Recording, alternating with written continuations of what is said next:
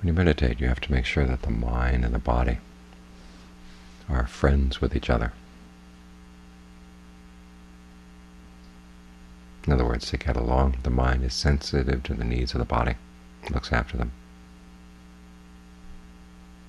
And as a result, the body will provide a good place for the mind to settle down. If you try to force things too much or put too much pressure or box things up, which can often happen with the breath, you want to keep the breath under control, so you create these walls around it. And of course it's not going to like it. It's going to feel hemmed in.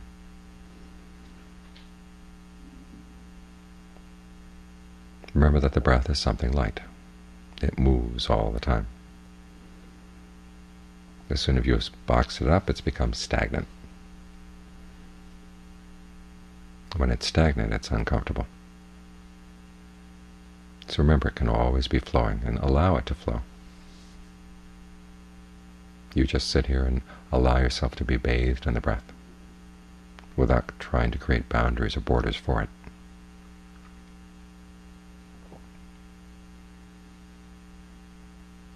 And also watch for any funny habits you may have in trying to relate to the breath. Sometimes you may find yourself trying to squeeze the breath out.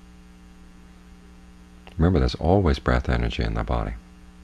If you try to squeeze everything out, you're harming the more subtle levels of breath energy that are there. So if any breath is going to go, allow it to go out as far as it's going to go on its own. You don't have to push it further. And when it comes in, you don't have to pull it in too much.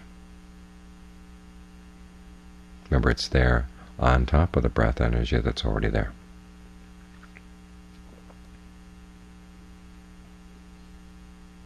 This way, as the breath is allowed to do its thing,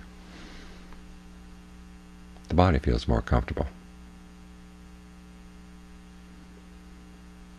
Old patterns of tension that used to be there in the body can begin to unwind and get released.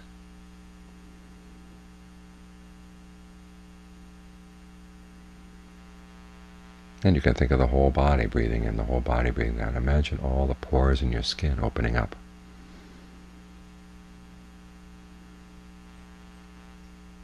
So there's nothing in the body that can hold on to the breath. It's totally open to any breath coming in, any breath going out.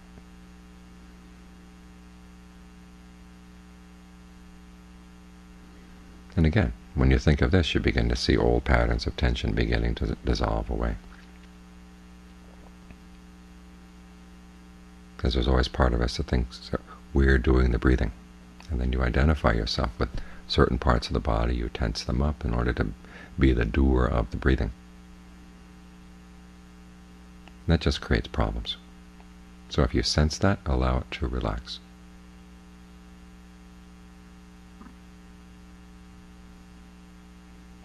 Think of yourself as a big sponge sitting here. The breath can come in and out all the holes of the sponge.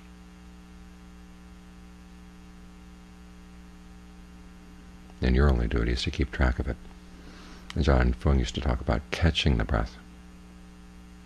And I would try and try and try to catch it. Of course, I would tense up in order to catch it, until one day I realized you had to just allow it to come in and go out on its own without your trying to box it in or catch it. And I went back and I told him he was teaching me wrong. He laughed and laughed. He said, that wasn't what I meant. He says, catch hold of it, catch sight of it, was what he meant.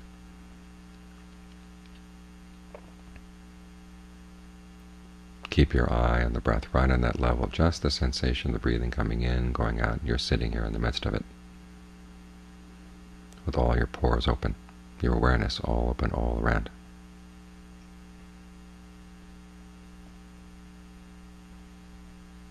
And even though you're identifying yourself with a particular physical state or a particular mental state, it's a more skillful state than a lot of the ones we tend to identify with. We go through life taking the raw materials around us and turn them into ourself. And in doing so, we push them around in ways that are unnatural to them.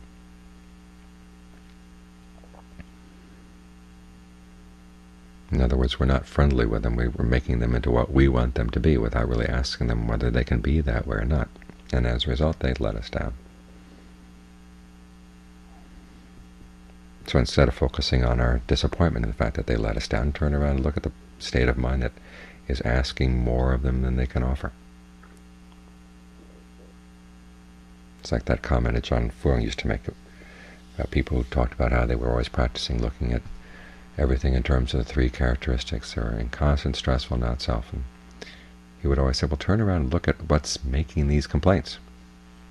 Complaining about the fact that they're inconstant, stressful, not self. That's where the real problem lies.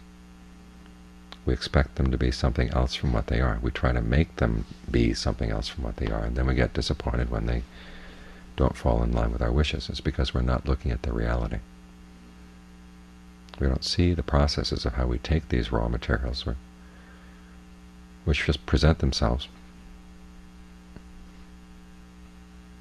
and decide that we want to latch on to certain sensations because we like them, and then we create a sense of self out of, out of other sensations.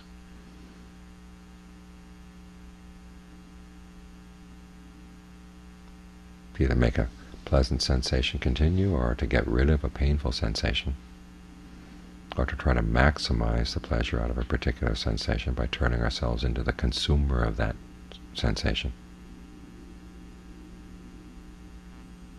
So lots of different ways in which we create this sense of self as the doer or the consumer.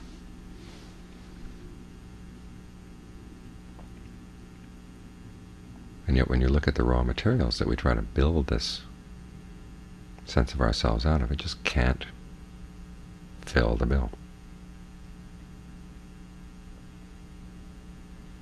And when you see the stress and discomfort that comes from creating that sense of self, that's when it's easier to let go. If we just had one sense of self and let it go, that would be the, the end of the problem. But we have many ways of creating a sense of self. So you have to catch yourself in the act each time, each time, each time. Otherwise, you let go of a sense of self, and then you wonder, well, why is there still these uh, problems? I thought letting go of the sense of self would put an end to problems. Well, it's one particular sense of self, a particular doer or a particular consumer.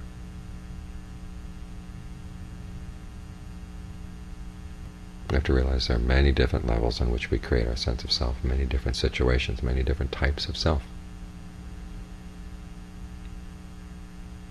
And although the basic principle is the same across the board, we're taking raw materials that are not self at all and try to turn them into something that's against their nature. Still, there are, you've got to see the particulars, because this happens on many different levels of subtlety.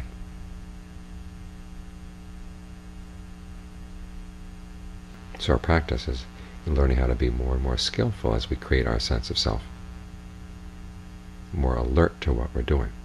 It's in trying to be skillful that we become more alert.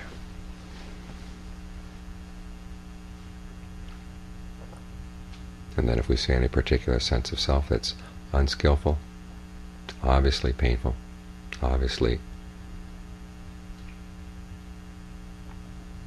stress or suffering, inducing, and we let it go.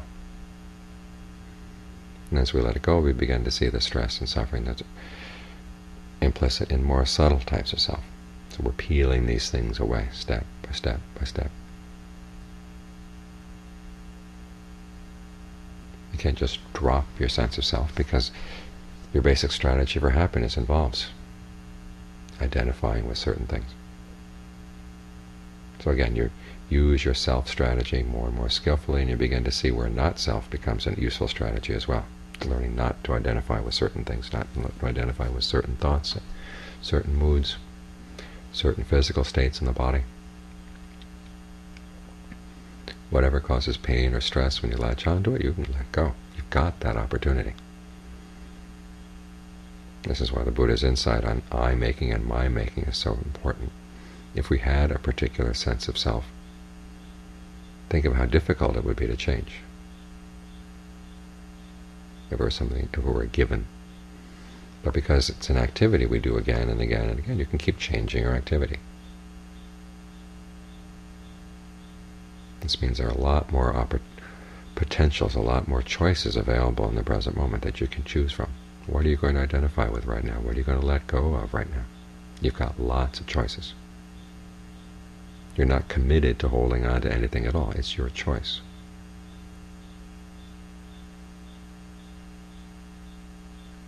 When you see it in that way, it's a lot easier to let go of things, even of things that you've held on to for a long time.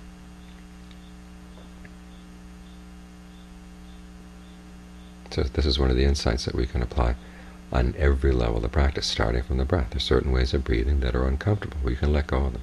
See what you're doing to make them uncomfortable and stop doing that. Get on friendlier and friendlier terms with the breath. Be a more skillful friend to the breath. And then take that same type of insight and apply it to the, the way the mind reacts to things, the way it holds on to things, the way it pushes things away. realizing that if you pay a careful attention, you just get more and more skillful. You become alert to more opportunities, more choices, more alternatives that are available to you right here and now.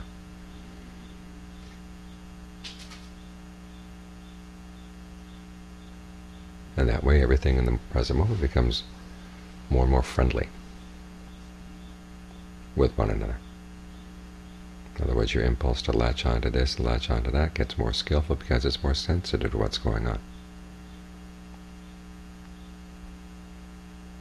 Ultimately, we reach the point where you can let go of everything. And that's where everything gets on good terms, and you realize that all the conflicts, all the problems, were things that you caused. I mean, the way of the, the way of the aggregates will go on. It's old way, arising and passing away, arising and passing away, but it won't be issues anymore. The mind is the the only thing that creates the issues, and when it stops creating the issues, there are no issues left. That's what we're working toward.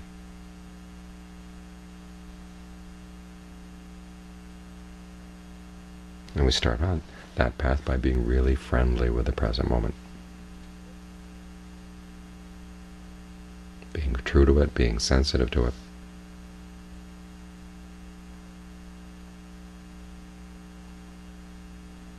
And when we're a good friend to the present, the present starts becoming a good friend to us.